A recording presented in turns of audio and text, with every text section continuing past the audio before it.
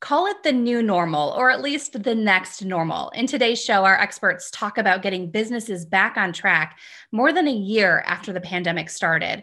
What does recovery need to look like? We talk to key members of a local task force. Plus, not all of the pandemic pivots have been so bad. We'll show you some of the coolest and most successful changes we've seen. Expert Connexions starts now.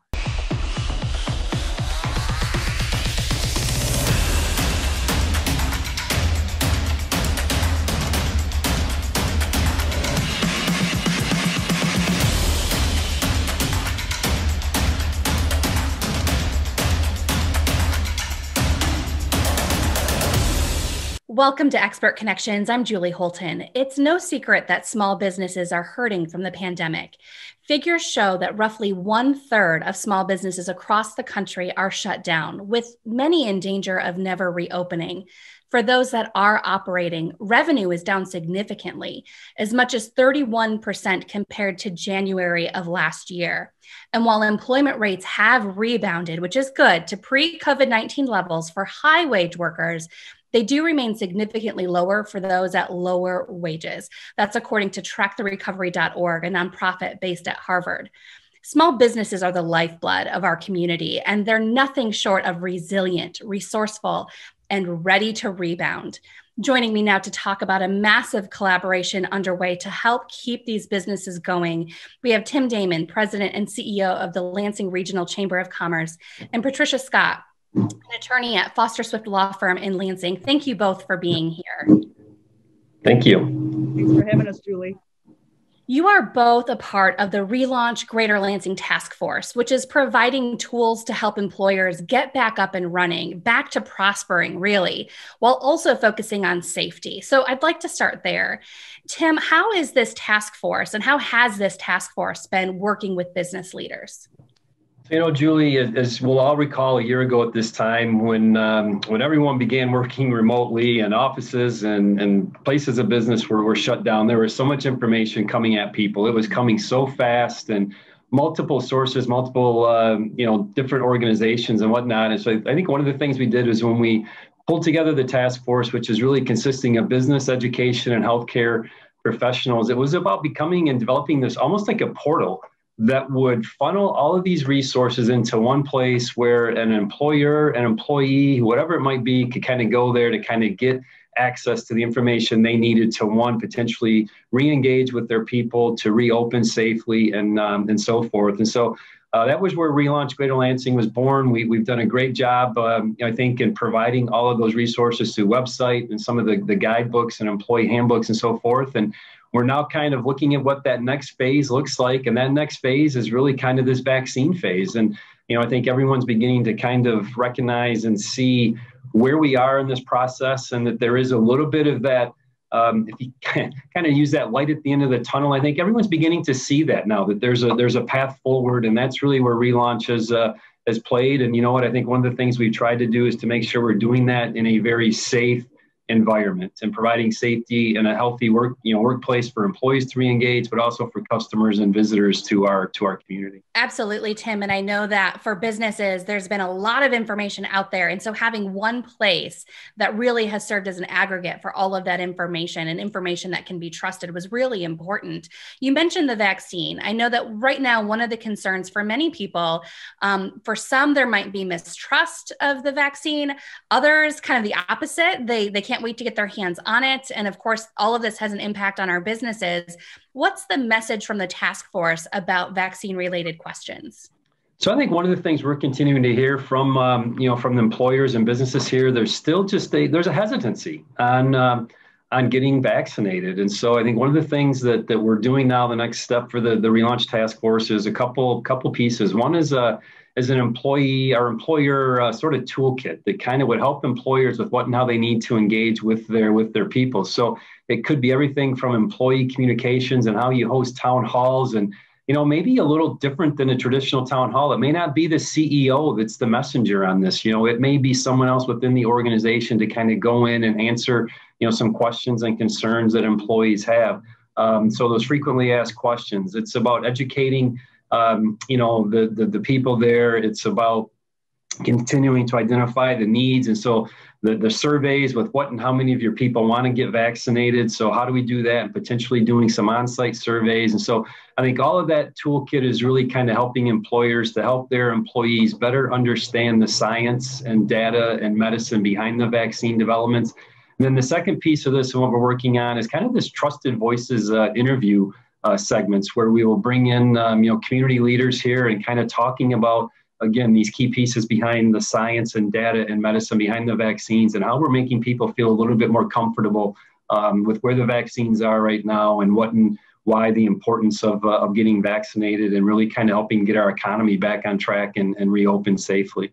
Patricia, I want to turn to you now. Are there legal considerations for businesses related to the vaccine and, and really to all things related to COVID? What, what are some of these considerations?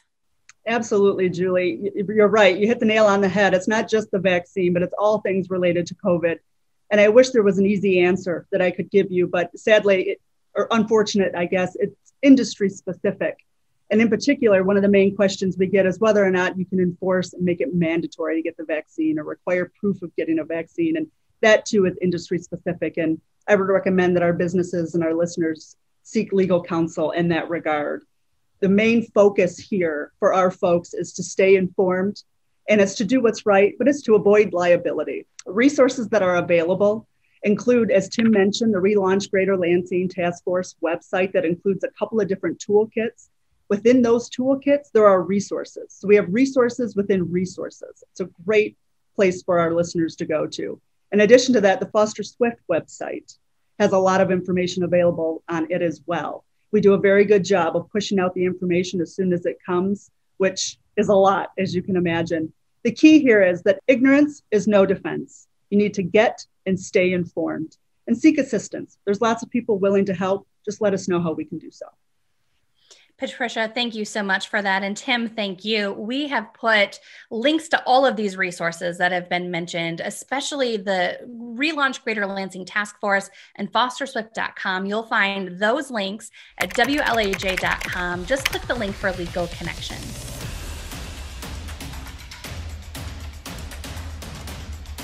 While many companies were forced to make changes to keep going, not all of these pandemic pivots have been negative.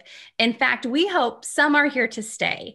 Joining me now are marketing connections experts Paul Schmidt from Uno Deuce Multimedia, Jesse Flores of Super Web Pros, and Tim Haynes of Symposia Labs. Welcome to the show. Hi, thanks for having us. Let's talk pandemic pivots, starting with this show, Expert Connexions. Exactly one year to the day of this show launching on WLAJ, Expert Connexions actually started as a Facebook Live series during the pandemic. Our very first guest was a cleaning expert who talked about COVID 19. From there, we interviewed experts on mental health, small business loans, legal issues, sales, and of course, marketing. Sound familiar? At M Connexions, it was all about connecting our clients and the community to the answers that all businesses needed. In all, we've easily interviewed more than 100 experts over the last year. Now we are on the air to help businesses grow during this next phase. I know each of you have seen other really great examples of successful changes. Jesse, you work with a lot of brick and mortar businesses. What are some of the shifts that you've seen to move from the literal foot traffic to digital storefront traffic? Yeah, you know, there's no denying that um, small businesses and particularly local businesses were among the biggest victims of COVID 19. Maybe not because they were infected with the disease, but they were certainly infected with the economic fallout. And one of the first things that we saw um, was everyone trying to figure out what a transition to digital would look like. Um, for instance, we started seeing restaurants reaching out to figure out how do we get curbside pickup set up? Can we set up online ordering, um, you know, without paying huge fees to DoorDash or or Grubhub? We saw consultants and coaches and knowledge workers um, trying to figure out like, hey, I, I can't network anymore. I, you know, I can't go to that Chamber of Commerce event. How do I get people into um, uh, into my ecosystem so that I can continue to deliver the value that I deliver? And so we we were watching people pivot into developing things like learning management systems uh, or uh, online courses and things of that nature.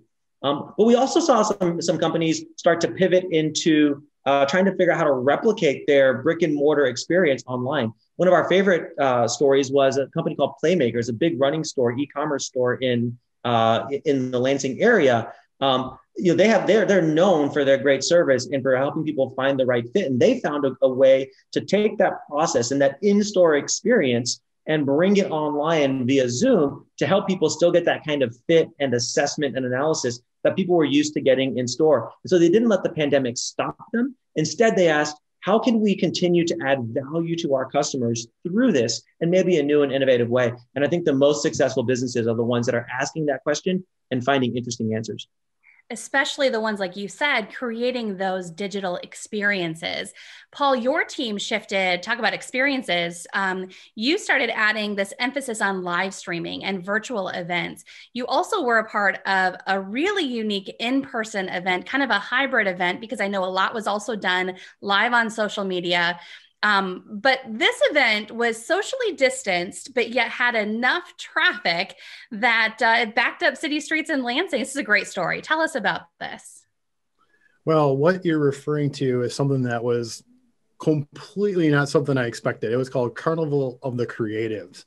And so, what was really cool about this was it was kind of a, a collaboration between um, uh, Downtown Lansing Incorporated, which is a you know the the it's not really a DDA, but it's the organization that oversees the downtown Lansing area as well as the Artists Umbrella and Opportunity Arts. And what they did was they took on Halloween as a socially distant holiday, incorporating artists who were who got hit pretty hard during the pandemic as well. And they locked down a uh, uh, parking garage and had families you know, go up three, four flights, um, experiencing artists doing all sorts of art things and getting candy for their kids without leaving their car. So, and like Julie said, it backed up down the block so much so that the Lansing Police Department jumped in and helped um, steer the traffic correctly. So and they were happy to do so because finally people were able to be out and about, but socially distanced. I mean, talk about an incredible experience mm-hmm. done, um, you know, during the pandemic. Uh, yeah, I I was blown away. I was one of the volunteers. I volunteered, and I was like blown away about how many. It's like over 200 cars came through. It was amazing that this collaboration also happened within a just a month span at tops. So they yeah, short amount of time to plan it and yeah. to execute it. Absolutely. Yeah, great example, Paul. Tim, let's talk about some of the fundamentals behind all of these examples that Jesse and Paul have given. How have you seen the pandemic change the work that you're doing? So, as a marketing agency, we had the privilege of having already had embraced digital communication and working remotely. An interesting data point here jobs that included work from home or WFH, as I like to call it, uh, that is an option. Those sorts of jobs increased by almost fivefold in Q3, according to LinkedIn during 2020. So the work from home trend is here to stay. Dispersed teams are here to stay. It's now normal and professional behavior to have our kids or our cats interrupt our business meetings. And I celebrate that. And I think that we should all celebrate that because although I know it sounds a little bit crazy, you and you and me, we are all employees perhaps, but most certainly we are also people. And the brands that we are buying from need to realize that everything has now shifted. Value based marketing is the future. If you do not embrace the digital trend that is happening at an accelerated rate because of COVID, not only will your business's revenue die, but your employees will leave. Absolutely. Yes, you're right. That's not going anywhere anytime soon. Tim, Jesse, Paul, thank you so much for your insights today. To see more from our experts, head to WLAJ.com and click the link for Marketing Connections. Pivot certainly has been the buzzword. When it comes to generating revenue growth, right now for many, that means identifying entirely new markets. Our sales connections expert, Sherry Pash, joins us to talk strategic growth. Hi, Sherry. Hey, Julie. I'm excited to cover this topic today. Me too, Sherry. So I know that many businesses we talk to, many organizations, nonprofits, they're all describing the recovery right now as a means of survival. So let's talk about tapping into new markets. First, how do you identify as an organization a new market? you know like you said markets are shifting for many businesses right now so i think to, to identify that new market we have to first understand for our customers and our clients our members donors the people we've worked with for years, what has changed for them in their workplace, their operations, their product line, their service line. So I think knowing that uh, it's going to drive where we go with new markets and identifying those new markets. So a couple things I would say to start with is to think about um, what's your potential what's your need client or member segments and a couple questions you can ask to do that is who's doing business with us now who, who's investing with us now? Who isn't that should be? And who do you want to do business with that isn't doing business with you now? Sherry, that's such an important topic because, as you mentioned, so much has changed in the last year um, with the mm-hmm. pandemic. And so there may be people that you were regularly doing business with before that just uh, are not there right now. Maybe they're not coming back. Right. Um, and so we really have to start to understand what does that market look like? Mm-hmm. And so, really, with that, that's where we're going to start to talk about um, creating a client profile, basically, a customer profile that you can um, see where your gaps are and see what why you want a new market and where that new market will be. So we want to define that market name or that client segment name. And you want to know currently do we get business from this segment? What percent of our business is from that? So we can de- decide our growth. Define the type of client that makes up this market? What is the DNA of this um, particular client customer? Describe where you're going to find this this client from. Which mar- where, where are they hanging out at basically? Are they hanging out in social media? Are they hanging out um, you know in in industry events things like that? So we've got to define where we're going to find these clients from. And what's really important is to know what type of business or revenue they produce and that's important, right? We've got to know are they, you're bringing in a, a lot, it takes a lot of work, but they'll bring in that little revenue versus that large revenue that is so important to sustain a company. So as we look at new markets, we definitely want to look at that. Yeah, so important, Sherry. I know I've, I've heard you say before, you know, as you're talking to people, of course, there's kind of that balance, right? There's the work that maybe you want to be doing or want to be doing more of because maybe it's an enjoyable um, product or service that you're working with. Mm-hmm. But we also have to look at that pie chart because where's the money actually coming from? And right now, when we're in survival mode, that might mean we have to shift what we're doing a little bit, even as we approach these new markets. So, what, what's maybe another tip, Sherry? What's another thing like that that we should look at? Well, I think other things you can look at once you've looked at that, the revenue that they produce, what's their buy pattern? If you know you've got great business kicking a year off, but you kind of slow in the summer, we want to know that so that we, as we define these profiles, we may find this market segment or client segment does a lot of business in the summer months, perhaps, or they might be just those who sign a contract for the year with you. But we need to understand so when you're looking for summer business, you can look through your market segment profiles, your client profiles, and determine which segment is going to allow you to find that summer business. That's just an example. So we want to look at that. We want to know the price that they can tolerate. What revenue can this client segment um, produce or tolerate? Is this always going to be a low level, but maybe they they they uh, will buy from you in a really need period for yourself, one of your low periods, and that revenue is good then, right? That lower price. Right, so, absolutely. Especially as we're talking survival mode and pandemic and the impact that this has had on all of them. It, uh, have you found that that could impact pricing and what pricing people will tolerate? Definitely. People don't have as much money in the checkbook in some industries. Some industries are doing fantastic. So that's where it's so important to go back to knowing what's happening with your clients' um, industry, their businesses, things like that, because some are, are thriving during this time. So we don't want to leave money on the table either, right? So as salespeople, it's that fine line of asking those questions and knowing where this uh, particular company or industry segment is, this, this segment. So that's where it comes to that last one. You want to provide a brief update on the state of this market on your profile sheet so that that you do know has it been hit hard through the pandemic? Is it doing strong? Is it rebounding? Have, have jobs been lost? They're not going to come back, things like that. So it's really important we, we, we create all of these tools um, into, or all these uh, fields into our account profile. Okay, so you've given us so much to work with here. This is a lot of information, a lot of tips. Is there a tool or a system that we can use to help really organize and track and be able to later identify trends?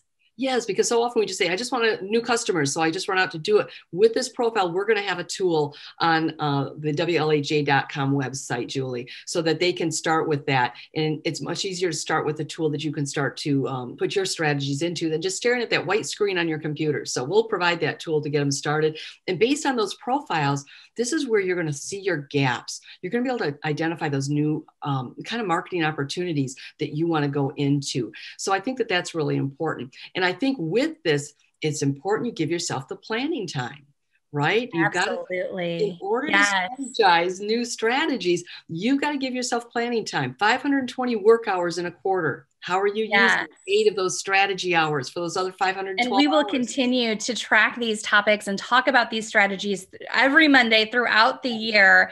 Sherry, thank you so much for sharing your information with us today. Thanks, Julie. For a look at that tool that Sherry talked about, head to WLAJ.com and click Sales Connections.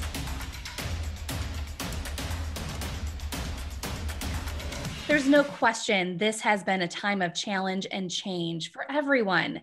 Poll after poll shows mental health is a top concern for as many as 40% of Americans. And while there's a full spectrum of issues to address, one thing many people say they miss is connection. So we want to share positive stories of people making a difference with a weekly segment we're calling Heart and Soul Connections. Joining me are four women from the group She Leads Michigan Michelle Hutchinson, Nancy DeBoer, and Sylvia Williams. Thank you so much for joining us. Michelle, more than ever, there is this human need to connect, which is exactly what She Leads Michigan is all about. We'll be hearing these unique stories each week. Mm. But Michelle, talk us through what is She Leads and why is this organization so important? Julie, thank you for having me today. I'm very, very happy to talk to you about She Leads Michigan it fits perfectly into the very words that you just said, which is She Leads Michigan brings a diverse group of Christian women together, and all of them hold leadership positions in their workplace, their government, their homes, in their communities. And as a group, uh, a group of strong women, we seek to honor and thank women of strength for their action in service um, to network women relationally to support one another as we walk through challenges and successes, as we walk out our faith in different environments, and to encourage each one to take bold action to impact society.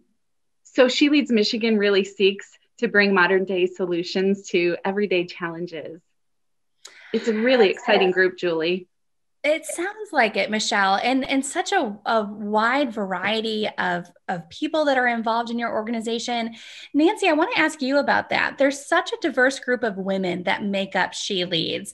Women at home with children, trial lawyers with cases before the Supreme Court, politicians, teachers. It seems like the full spectrum. Tell us about the women of She Leads. Yeah, it is amazing the variety of people that God has brought together. They are handpicked by Him. They represent all ages, backgrounds, cultures, denominations, races. Uh, she Leads Michigan really provides a safe platform for the exchange of ideas. And we have a community of faith focused, independent thinkers. We support and encourage each other, and we're networked together through these trusted relationships in Christ.